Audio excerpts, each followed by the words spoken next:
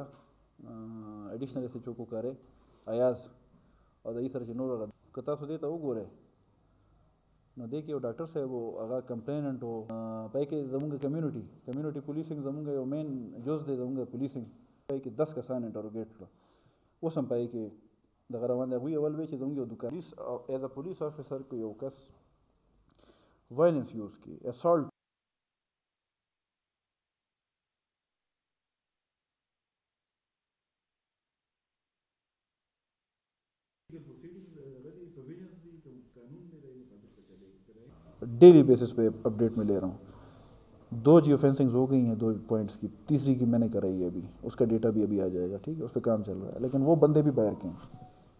अब बाहर के जो लोग आते हैं, किसी के माथे के ऊपर नहीं लिखा होता कि ये बंदा चोर है, ये बंदा, ठीक है? और अब हमारे जो चेक पोस्ट हैं, अगर हम वहाँ पे चेकिंग ज़्यादा कर लें पब्लिक को फिर तकलीफ़ होती है। वो भी अच्छी बात नहीं है। तो हम हर बंदे को चेक नहीं कर सकते। लेकिन ये है कि सबसे इम्पोर्टेंट चीज़ जो है ना पुलिस में सबसे इम्पोर्टेंट चीज़ है।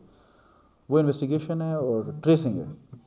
यानी एक प्रिवेंशन होती है पॉलिसी एसओपी कि पेट्रोलिंग अच्छी हो तो क्राइम ना हो।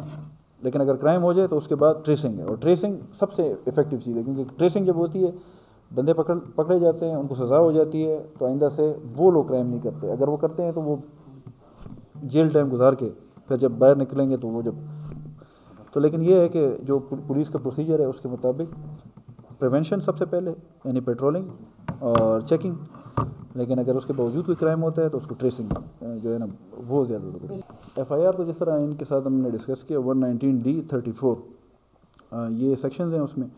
और उसमें वही बात है कि वीडियो वायरल हुई, वो वीडियो मंजराम पे आने के बाद उसके ऊपर एफ़ आई आर हुई, उसके ऊपर सस्पेंशन भी हुई। और इंक्वायरी कमेटी भी उस पर कायम हो गई है। इसके अलावा अगर कुछ है तो